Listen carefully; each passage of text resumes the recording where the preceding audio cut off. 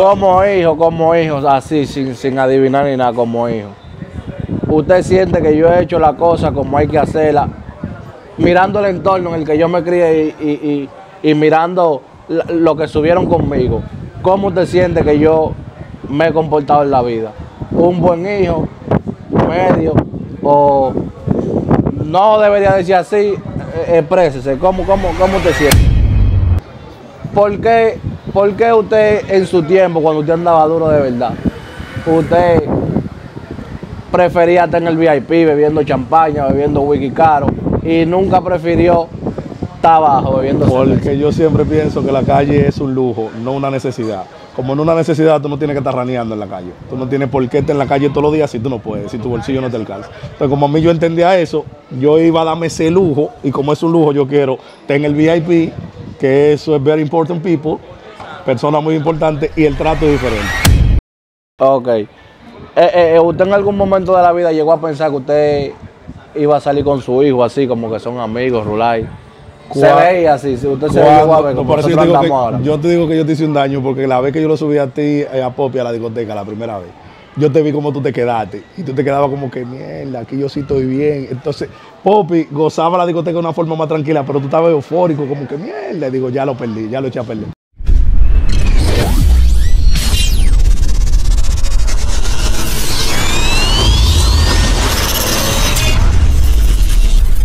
¿Qué es lo que es mi gente? El bonitillo 04 para que estén claros, hay fuego, hay chip. Oye, algo. Hoy en realidad no es una entrevista cualquiera, ¿me entiendes? Yo vengo a mostrarle el padre mío. Y aparte de eso, varias inquietudes que tenemos, él hacia mí, yo hacia él. Pero vamos a ver qué es lo que está pasando, porque se dice que yo y él tenemos la misma sangre, es lo mismito todo, ustedes se pueden fijar, nos parecemos y de todo. Yo quiero hacerle varias preguntas a él, que en realidad yo siempre he tenido, pero esto es un conversatorio de padre a hijo. Salude a la gente ahí que está ahí. ¿Qué es lo que mi gente JR de este lado? JR cree que está buenísimo. eh. Esto- no, que creo no. Pues, tú- pero entonces me ¿Y por qué usted tiene que hablar así? porque ese es mi flow y mi vaina y la vaina que yo tengo. Si tengo mi piquete, ¿cómo lo digo? Dime. ¿O tú crees que tú naciste de la nada así? Oiga esto. Yo salí de usted. Te- Tengo el mismo flow. Pero usted sabe que al final yo soy la evolución, yo soy más psicópata. Es todavía. lo que tú te has pensado y te vive tu película de que tú sí, de que No, no, yo soy una psicopatada. No, tú eres una vaina Ah, bien, no, no, pero no. viene Lo que pasa es que usted sabe que está, eh, eh, la generación, no verdad, pero cuando actualizan algo es más psicópata. El la detalle está que yo me mantengo actualizado porque yo me mantengo manejándome pero- con lo mismo de pero ustedes, es con tu mismo. círculo y toda la vaina. No es lo mismo, no se me ve las rodillas ahí, ¿verdad? Eh, me veo nítido.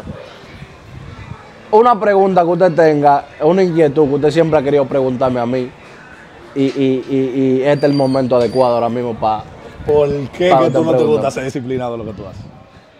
No, disciplinado no, no tiene que ver con eso, porque no es disciplinado, sino que a veces hay, hay circunstancias de la vida que quizá lo que es normal para una gente, otra gente no lo ve así. Quizá esas circunstancias de la vida son las que me detienen en el momento. Quizá me pongo depresivo, quizá, ¿me entiendes? Quizá para usted eso es algo sencillo, que usted lo ve así, y que, uh, pero Claro, quizá desde para mí es algo, punto de es vista algo yo- fuerte, ¿me entiendes? falta, te falta disciplina. Entonces, Tú eres el mejor de esto, como tú dices, que tú eres el que te la das tú mismo, que tú eres el mejor, él es el mejor de esto, pero le falta su poquito de disciplina, entonces yo quiero que tú me, me expliques bien por qué que eso, por qué que tú No, pues es un proceso en la vida, todo es un proceso. Uno se levanta, se cae, se levanta, se cae, toma punta y aprende. ¿Entiendes? Pero es como dice el contra. El contra me dijo a mí, para yo llegar donde yo estoy, yo he caído muchas veces.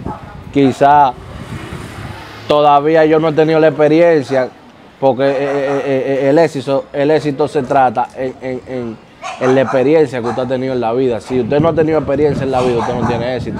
¿Me entiende? Entonces, estamos trabajando para ser el psicópata y yo voy a ser psicópata, porque usted lo sabe que yo no le- que yo No, porque yo sé que tú tienes tu talento. Ok, yo le voy a hacer una pregunta a usted. ¿En qué momento, en qué momento usted se siente desanimado así de la vida, así que usted dice, usted se siente triste así? Oh, pero tú sabes que yo no vivo aquí cuando yo estoy lejos de ustedes. Ese es mi ¿Qué le pasa por la mente en ese momento? De todo, porque ustedes están aquí, tú le, te gusta correr a duro y eso me mantiene como en, en teque, en taquicardia, que yo sé que ustedes andan en la Usted calle todavía me ve a mí como un niño así. toda la, la vida entera. Usted se preocupa por mí así. La vida entera. Como yo soy un niñito chiquito. que te estoy criando de 5 años todavía, porque es que eso nun- nunca lo deja y uno se mortifica muchísimo. Por ejemplo, yo veo, yo veo los estados tuyos y yo, mierda, el 9 está en la calle y ya yo estoy, yo estoy acelerado. Por ejemplo, una de las cosas, una de las cosas que más lo puede preocupar que usted piense en la mente que yo vaya a hacer o algo, como que, Que tú o que me vaya a pasar. No, porque tú eres un tipo impulsivo y tú haces las cosas de impulso. Entonces, a veces yo quiero como frenarte, pero yo allá y tú aquí. Yo- eso me, me desespera, viejo. Hay momentos de la vida en el que usted ha dicho ya le guarda banda a ese muchacho que se vaya. Cada ahí". rato, viejo. ¿Y qué lo hace retomar la? Porque tú, yo te- hay veces que yo te veo como que tú estás adulto. Pero, o sea, como que yo quiero que tú hagas la cosa de adulto y después recapacito que tú eres un muchacho, que tú lo que tienes son 22 años. Y me quillo, viejo, me quillo. Cuando yo te estoy hablando algo, que yo te digo, mira, muchacho, que sé yo qué", entonces tú me saltas y que no, papi, se me está cargando el teléfono. O, no me estoy tratando. Como hijo, como hijo, así, sin, sin adivinar ni nada, como hijo. Usted siente que yo he hecho la cosa como hay que hacerla, mirando el entorno en el que yo me crié y, y- y- y mirando lo que subieron conmigo. ¿Cómo usted siente que yo me he comportado en la vida? ¿Un buen hijo? ¿Medio?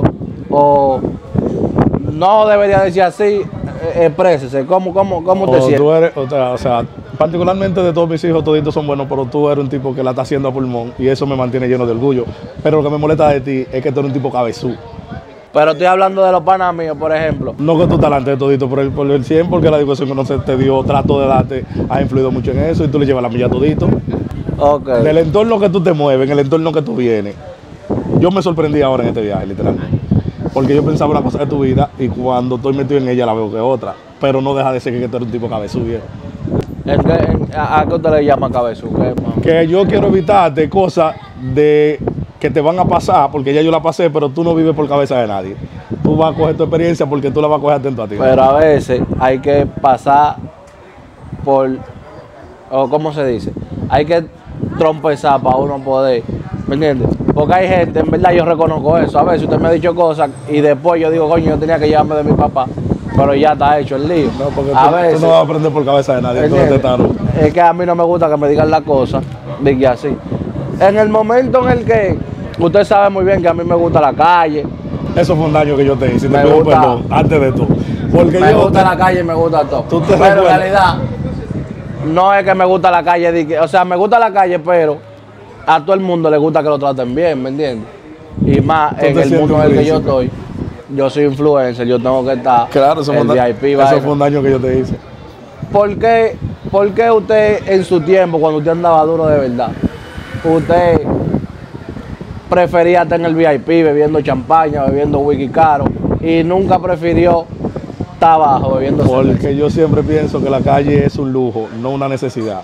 Como no una necesidad, tú no tienes que estar raneando en la calle. Tú no tienes por qué estar en la calle todos los días si tú no puedes, si tu bolsillo no te alcanza. Entonces, como a mí yo entendía eso, yo iba a darme ese lujo, y como es un lujo, yo quiero tener el VIP, que eso es very important people, personas muy importantes, y el trato es diferente. Porque era un lujo que yo quería darme, y lamentablemente es un daño que yo te he hecho porque a mí me gusta llamar la atención. deja algún tipo de beneficio eso. El trato de cómo te tratan la gente en, la- en el ambiente que tú desenvuelves. Y cuando usted va, que ya es fijo en un lugar, le están dando una payola fuerte ya. grandiosa. Tú te sientes que tú eres sí, tú como dice Roche, tú sientes opa, opa. Porque la sensación de, de- de importancia que te da cuando tú entras, que todo el mundo te saluda, ay, fulano, que lo que, que sí o qué, y viene lo desconocido y quieren saber, pero quién es ese, que todo el mundo lo está saludando. Eso te, te pone engreído y tú te sientes mierda, yo soy el comandante. Y esa sensación le gusta a todo el mundo. En el momento en el que usted supo que yo que yo me casé, que yo me tenía que casar con una muchacha porque salió preñada, ¿qué le pasó por la mente? Matate. ¿Por qué? Porque yo te había dicho a ti, realmente, me recuerdo como ahora, yo te decía, eh, Michael, tiene un cosa con todo. Papi, papi, no me hable de eso, no me hable de eso. Porque yo no esperaba que eso iba a pasar. Entonces, cuando pasó, que me recuerdo que no fue tú que me lo dijiste, que me lo dijo tu mamá, que tú le llamaste a ella. Luisa me llamó primero y me dijo la vaina. Y yo quería matarte porque yo decía, pero, diablo, ahora, y tú te recuerdas que yo también tenía una mujer embarazada por esos tiempos. No, yo no sabía, pero que vamos por ahí ahora, porque yo lo estoy, eh, yo lo estoy, eh, es que yo quiero que usted me hable claro, porque yo todavía no he ido por ahí, no hacia adelante. Ok. Le digo que tengo una mujer embarazada. en ese momento, yo sentí que sí se me dio el apoyo, como había que dármelo, pero en una parte me sentí como que no se me quería ayudar, en el sentido de que cuando yo llevé a la muchacha para la casa, me- usted me la quería como poner como rara la vaina, como que... Porque yo estaba lleno de odio y yo sabía que me iba a tocar esa vuelta a mí atender. En sí, usted no estaba lleno de odio, de que por el embarazo. Usted, te- a- usted, porque yo fui un tigre de verdad, yo soy un tigre, yo soy paraguayo. Usted me dijo a mí, y me acuerdo yo, tú vas a donde hay el Santo Socorro, las consultas son como 900 pesos, tú entras, le dices a fulanito, y, y digo yo en mi mente, coño, pero la última que nació fue Danichi, ella tiene 15 años. Y, y ella tiene 13 años. Me traicionó el subconsciente, güey. De- por mi madre que se lo dije yo así. Y le digo yo a, a- a la esposa mía, le digo, mira, pero mi papá como que sabe todo. Como, como que no son los mismos precios de ahora y antes. y entonces yo le dije, eso está raro. Y usted tiraba mucha patada. Y que si ustedes tienen un hermanito, que sé yo qué, ¿qué pasaría? Siempre decía eso a uno en el carro o le decía a Daniel. Porque había que prepararlo física, mentalmente. En ese momento, cuando usted se entera de que usted tiene una mujer embarazada, fuera del matrimonio, ya, ¿qué le pasa por la mente y cuál fue la solución que usted intentó en ese momento? Lo que me pasa por la mente, lo, siempre que yo- lo que yo siempre he dicho a ustedes es que uno es dueño de sus consecuencias. Cada acto trae una consecuencia y uno tiene que asumir. Lo primero que yo hice fue asumir, pero asumirla yo solo sin decírselo a nadie porque yo sé que el momento que eso se ahí. no era muriéndome. Yo lo que quería era conservarla, que ella tuviera la paz en su embarazo como era debido y que ustedes si yo se lo decía, yo sentía que si se lo decía antes que el niño naca, no es lo mismo que yo ir presente también, ese tu hermanito, como que yo sentía que se iban a doblar más fácil cuando ya él naciera que decírselo antes, pero eso era lo que me pasaba por la Y cabeza. entonces, mi mamá, ¿qué, qué usted pensó ahí? Eh, no sabía cómo darle la cara, pero era más fácil porque ella no estaba aquí. O sea, como ella no está aquí, yo estoy descuidado, yo soy malo para la relación a distancia, yo me movía mucho y en algún día se me iba a botar el caldo. Pero, pero usted no pensó en ese momento como, por ejemplo, porque, eh, o sea, es, es el hermano de nosotros, ¿no? ¿Verdad? Está, está fuera del matrimonio, pero ya usted sabe que eso iba a traer una reacción ya negativa porque es una, es una turbulencia, uno acepta eso. Y más yo, usted va a ser abuelo y papá ahí mismo, porque no se lleva Seis veces, seis veces, sí. es algo como una turbulencia como fuerte. Cuando yo le dije a usted, porque no fue usted que me lo dijo, yo le dije, mire, me están diciendo que usted tiene una mujer embarazada. ¿Qué le pasó por la mente en ese momento? No, yo todavía no quería hacer, hacer sí, yo me recuerdo que te dijeron, pero todavía yo no, te lo, no lo quería hacer sentir en certeza porque yo no sabía la relación que te iban a tomar cuando la vieran a ella. Porque más tú, que tú eres un tipo celoso, No, porque en verdad, en verdad, yo, yo duré como, yo, yo estaba quillado de verdad.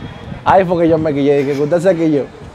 Yo me quillé de verdad. pero que no podía guillarte porque yo iba a asumir esa responsabilidad. Ok, porque- porque en verdad, en verdad, yo, yo en ese momento quizás yo no lo entendía. A pesar de que yo iba a tener una hija, en ese momento yo no lo entendía así. Pero fue algo como que me entiende, como que yo voy a tener ot- otro hermano, como, ¿me entiende? No con mi mamá, pero ya al final ya el niño está ahí, hay que quererlo, es mi hermano, como quiera, yo suyo, ya ha- hay que quererlo. Le han dicho mujeres que usted ha hecho cocote con mujeres y le han dicho que lo que el hijo tuyo es que me gusta. Pero yo tengo una seguidora en TikTok que me dice que la fantasía de ella es con nosotros dos y ella. ¿Y qué usted piensa en? Matarla, porque como si ese es el diablo pensar también conmigo. Para mí me han saltado también, dije no, pero tu papá está buenísimo. No, pero yo- Gente, mujeres, así que me han dicho, ¿qué es lo que uh? No, porque yo soy una vaina también, tú tienes que... No, porque usted la tiene y yo se le daba. Tú tienes que saber que que, es una eso viene de la sangre. No, porque siempre saltan uno que eso disparate, y más que ustedes tienen su sonido y a las mujeres les gusta mucho eso, el sonidito. ¿Qué, qué, qué es lo más que, que a usted le ha quillado de mí? Así que usted ya estaba. Cuando yo estoy en Estados Unidos, que estoy hablando contigo y tú me dices que se me va a descargar el teléfono por no escu- escuchar el consejo o lo que yo estoy discutiendo, que yo me quedo lleno de odio. Pero que si yo estoy quillado y usted me está dando consejos, yo no lo voy a coger como quiera porque estoy quillado. Tiene que esperar que la vaina se No, suelte. pero que en ese momento que yo quiero desahogarme y decirte de todo. eh. Yo me quiero morir el corazón cuando eso pasa yo. Ok. Eh, eh, eh, ¿Usted en algún momento de la vida llegó a pensar que usted iba a salir con su hijo así, como que son amigos, Rulay? Se veía así, si usted se llegó a Cuando- ver no, como por eso yo, nosotros andamos que, ahora. yo te digo que yo te hice un daño porque la vez que yo lo subí a ti, a Popi, a la discoteca, la primera vez, yo te vi como tú te quedaste. Y tú te quedabas como que, mierda, aquí yo sí estoy bien. Entonces, Poppy gozaba la discoteca de una forma más tranquila, pero tú estabas eufórico, como que, mierda. Digo, ya lo perdí, ya lo eché a perder. Pero, pero, pero, eh, eh, por ejemplo, hay muchos hay muchos padres que no pueden tener esa situación con sus hijos porque son muy viejos o los hijos son muy jóvenes y no, y, y no van a tener la oportunidad de salir juntos como salimos usted y yo a la calle, que si nosotros no hablamos, nadie le llega a decir que nosotros discutamos mi papá. ¿Qué se siente usted salir con su hijo a la calle y, y sea así como amigo, Rulay, que, que no pasa nada? Sí, realmente te digo que yo me lo disfruto mucho. Yo me disfruto mucho salir con ustedes dos. Usted se cohibe de cosas lado mío. Ahora no, pero yo me recuerdo que nosotros salíamos antes estaban ahí y yo, coño, pero ando con Michael, ¿qué, qué, qué hago? ¿Qué sí o qué? Y me tenían como que frizarme, como, porque tú eras celoso. Tú sabes, que, tú sabes que tú eras celoso, que si tú sabías que yo tenía, estaba haciendo algo, alguien me estaba hablando. Él agarraba y se lo decía a la mamá de una vez o cualquier cosa. No, esos son vainas muchachos. Daba al diablo. Esos no son vainas normales. Una vez cuando estaba chiquito, él pasó, pasó me vio hablando con una muchacha y él fue de su mamá le dijo que yo estaba enamorado ahí, que ahí estaba papi hablando. Yo no me acuerdo de eso, ¿no? Era viejo. Yo no me acuerdo. Pero, No, pero ahora se siente chévere, se siente bacano. Yo te vivo, yo vivo la, la vibra que tú tienes en la discoteca. Yo, tú no Ah, ves que yo, me- tú no que yo me quedo atrás y nada más para mirar. dígaselo a la gente, una para. Él no dice que diga Él se la vive. él- Óyeme, si hay una persona que se vive en la calle como es, es Bonitillo. Pero que yo soy una Bonitillo se la vive que él sí. No es vivírmela, es tenerla.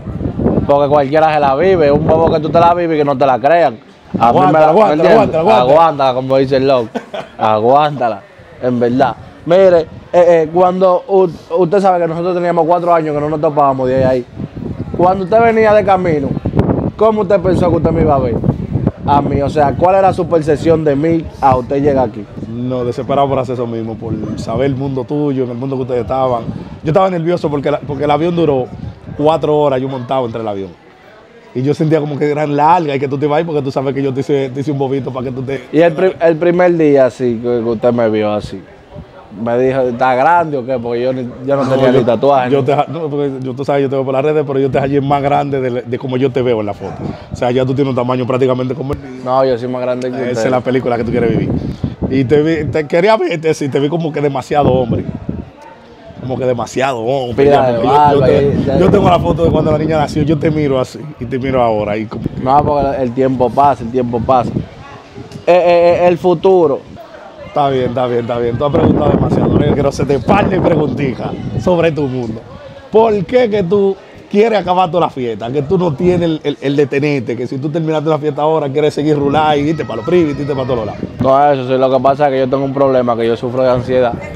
Entonces, cuando yo me doy par de trago y me siento feliz, o sea, yo no quiero como que se acabe la felicidad que yo siento en ese momento, ¿me entiendes? Porque eh, eh, yo, a mí me dan ataques de pánico y cosas, ¿no es verdad? Por yo estar pensando muchas cosas. Quizá por pensar, quiero lograr cosas que quizá todavía no es el tiempo de yo lograrlo, ¿me entiendes? Y, mi cuerpo no, no entiende ese sistema. A veces quiero lograr las cosas más rápido de la cuenta.